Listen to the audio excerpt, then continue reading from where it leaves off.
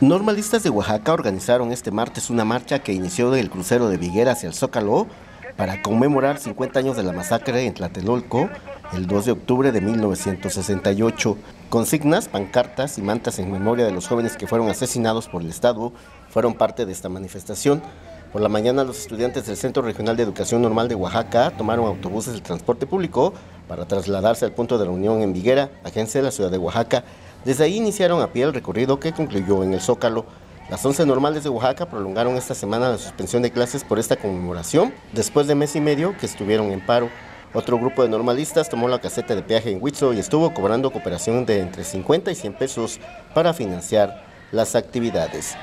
Con información de Jesús Cortés, producción de Vicente de la Cruz, Agencia Cuadratín.